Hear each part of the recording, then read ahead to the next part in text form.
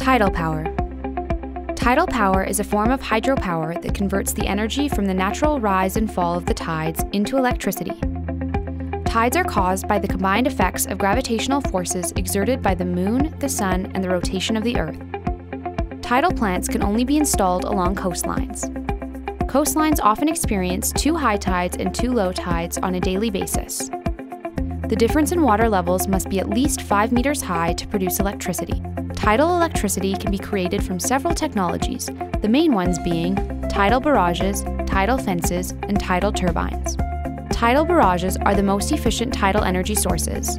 A tidal barrage is a dam that utilizes the potential energy generated by the change in height between high and low tides. This energy turns a turbine or compresses air, which in turn creates electricity.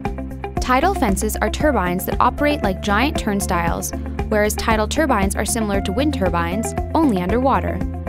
In both cases, electricity is generated when the mechanical energy of tidal currents turns turbines connected to a generator. The generator produces electricity. Ocean currents generate relatively more energy than air currents because ocean water is 832 times more dense than air and therefore applies greater force on the turbines.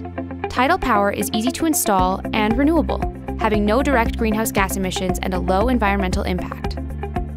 Because the ocean's tidal patterns are well understood, tidal energy is a very predictable energy source, making it highly attractive for electrical grid management. This sets it apart from other renewables that can be more unpredictable.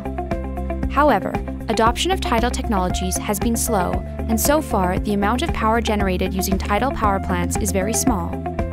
This is due largely to the very specific site requirements necessary to produce tidal electricity.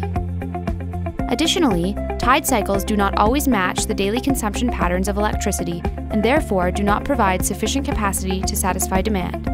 That's tidal power.